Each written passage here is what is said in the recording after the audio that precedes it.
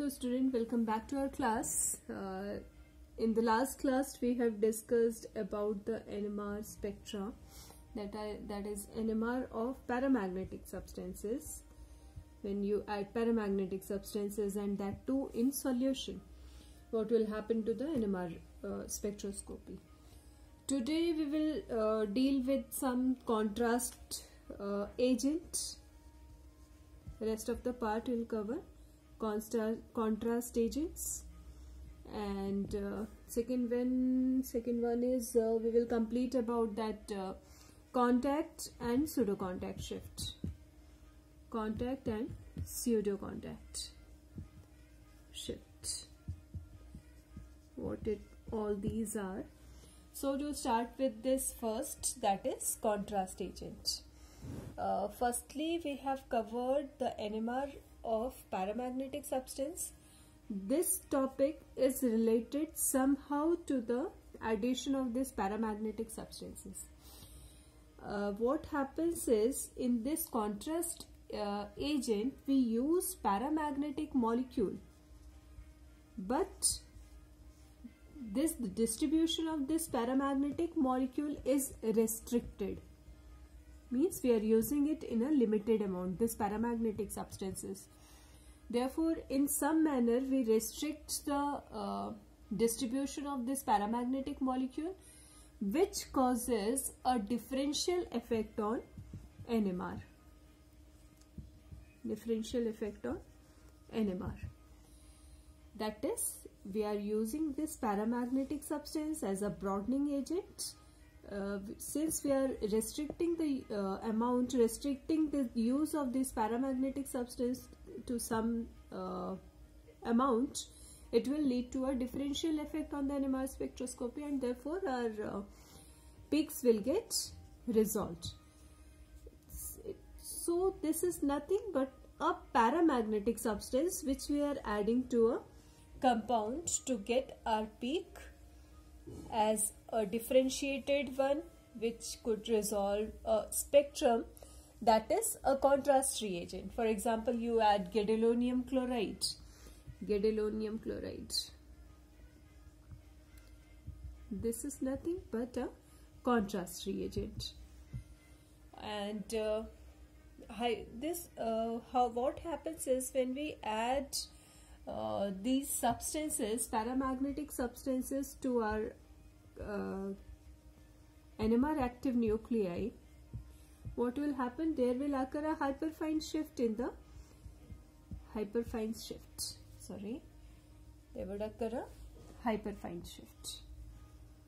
ठीक है अब ये जो हाइपरफाइन शिफ्ट है this is the difference between the chemical shift मतलब जब आप किसी भी सब्सटेंसेस में विच सब्सटेंसेस कौन सा विच इज़ एनएमआर एक्टिव उसमें when you add a paramagnetic substance अभी तक हमें इतना समझ में आ गया कि it will lead to a resolve NMR peak है ना? होता क्या है कि हमारा जो पीक uh, है it get a hyperfine shift hyperfine shift का मतलब है that is shift chemical shift जो होता है किसमें किसी एक पैरामैग्नेटिक न्यूक्लियस में पैरामैग्नेटिक न्यूक्लियस में और वो शिफ्ट जो कि किसमें हो? In absence of this paramagnetic substances this is called as hyperfine shift ये hyperfine shift will allow the कि कितना हमारा शिफ्टिंग हो रहा है by the addition of certain paramagnetic substances तो उसको हम बोलते हैं हाइपरफाइन शिफ्ट अब हाइपरफाइन शिफ्ट करने के लिए हमें क्या चाहिए? पैरामैग्नेटिक न्यूक्लियाई हो। तब कितना केमिकल शिफ्ट है? And the chemical shift in the absence of that paramagnetic substances तो इसको हम एब्सेंस कैसे करेंगे? There are three ways first is we can remove this paramagnetic substances we can that is removal of paramagnetic ion या तो अपन paramagnetic ion को remove कर दें। सेकेंड क्या है? वी कैन सब्सटीट्यूट हम क्या कर सकते हैं? हम सब्सटीट्यूट कर सकते हैं किसको? सब्सटीट्यूट अ पैरामैग्नेटिक आयन हम को पैरामैग्नेटिक आयन को सब्सटीट्यूट कर दे किसके साथ? With some diamagnetic ion and the third point is हम पैरामैग्नेटिक जो आयन है, उसका या तो रिडक्शन कर दें, या फिर ऑक्सीडेशन कर दें, ताकि वो डायमैग्नेटिक में डायमैग्नेटिक सब्सटेंसेस में चेंज हो जाए। ठीक है? तो this is nothing but hyperfine shift और ये जो हाइपरफाइन शिफ्ट होता है जो पैरामैग्नेटिक न्यूक्लियर और उसके बीच का जो डिफरेंस है वाई दिस हाइपरफाइन शिफ्ट ये जो शिफ्ट है ये क्यों हो रहा है? Because it contains two shift that is contact and pseudo contact shift ठीक है? ये होता है दो रीजंस uh, की वजह से दैट इज़ कॉन्टैक्ट और एक दूसरा है क्या? सूडो कॉन्टैक्ट शिफ्ट अब कॉन्टैक्ट और सूडो कॉन्टैक्ट शिफ्ट क्या है? This contact shift this is the result this result because of the presence of unpaired electron spin density ठीक है both are because of this electron which remains unpaired and it is due to the spin of that unpaired electron. इसमें और इसमें difference क्या है कि contact में this electron density would be present near the nucleus ये nucleus के पास में रहेगा ठीक है? uh, क्या चीज़? कांटेक्ट शिफ्ट में। Electron density it will remain very closer to the nuclei और फिर क्या होगा? तो स्पिन डिलोकलाइजेशन की वजह से मतलब इलेक्ट्रॉन का जो है उसमें इलेक्ट्रॉन स्पिन डिलोकलाइज होंगे जिसकी वजह से you see a contact shift या फिर अगर कोई न्यूक्लियाई है और uh, जो इलेक्ट्रॉन्स है विच इज़ अनपेयर्ड इलेक्ट्रॉन ये एट अ डिस्टेंस प्रेजेंट हो but not very far chemical bonds. They say these electrons and paired electrons these are present. कहाँ पे present हो? At a uh, few bonds away from the NMR active nuclei. तब वो shift कर सकते हैं ठीक है या फिर it can present far away from the nuclei लेकिन it should have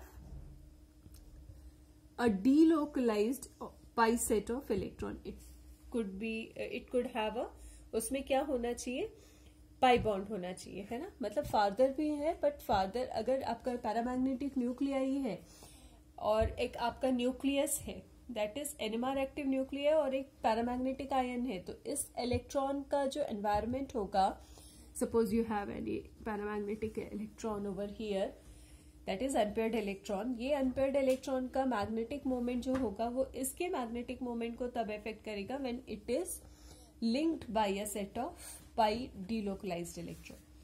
This will result in contact shift. Pseudo contact shift आपको बताया कि ये जो होता है it is the electrons would not be present near the site of the nucleus probability density electron की कम होगी when we are talking about pseudo contact shift these shift are similar like that of your J coupling बस यहाँ पे क्या होता है it is because of the electron magnetic moment जो इलेक्ट्रॉन होगा unpaired electron of paramagnetic ion उसका जो कपलिंग होगा उसकी वजह से हमें ये कांटेक्ट या फिर सोडो कांटेक्ट शिफ्ट मिलता है।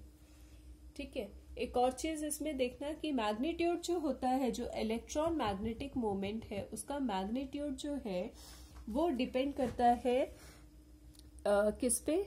ओरिएंटेशन पे। It depends upon the orientation orientation का मतलब है कि इलेक्ट्रॉन जो है वो कैसे रिवॉल्व कर रहा है?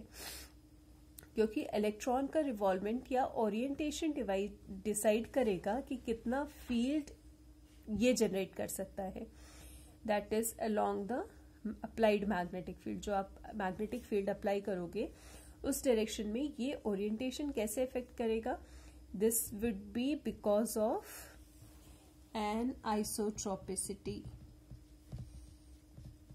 An isotropic isotropic मतलब सेम होगा एन आइसोट्रॉपिक मतलब जो फ़ील्ड uh, जनरेट होगा that would not be same throughout the molecule तो ये वाला जो इलेक्ट्रॉन uh, है आपका वो इलेक्ट्रॉन का orientation is going to decide about pseudo contact shift that is anisotropic effect anisotropic effect आपने पढ़ा होगा है ना?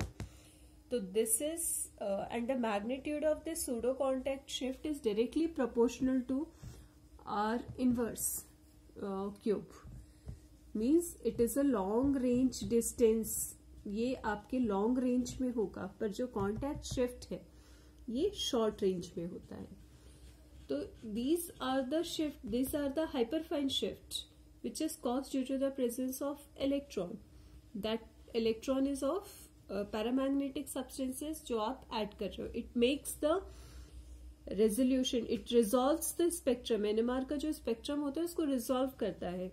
तो उसको हम बोलते हैं they are nothing but a contrast agent तो कॉन्ट्रास्ट एजेंट कुछ नहीं है, बच्चे, एक पैरामैग्नेटिक आयन है, जिसके पास अनपेयर्ड इलेक्ट्रॉन होगा, जिसकी वजह से हाइपरफाइन हाइपरफाइन ये होगा शिफ्ट होगा, और वो हाइपरफाइन शिफ्ट क्यों होता है? It is because of contact and pseudo contact shift hopefully आपको पैरामैग्नेटिक आयन का एडिशन करने पर एनएमआर स्पेक्ट्रोस्कोपी में क्या होता है वो समझ में आया होगा। सेकेंड आपको what is hyperfine splitting hyperfine क्या होता है हाइपरफाइन शिफ्ट uh, वो समझ में होगा और हाइपरफाइन शिफ्ट में कॉन्टैक्ट और सूडो कॉन्टैक्ट शिफ्ट रिएजेंट्स समझ में आए होंगे। स्टिल अगर आपको इस पे कोई डाउट है तो मेक मी क्लियर मैं इसको आंसर करती हूँ। इसके अलावा अगर आपको और कोई डाउट हो रहा है होपफुली हमने सारा सिलेबस अभी तक कवर कर दिया है, जितना आपके उसमें दिया गया था। इसके अलावा अगर और कुछ है तो let me know all the best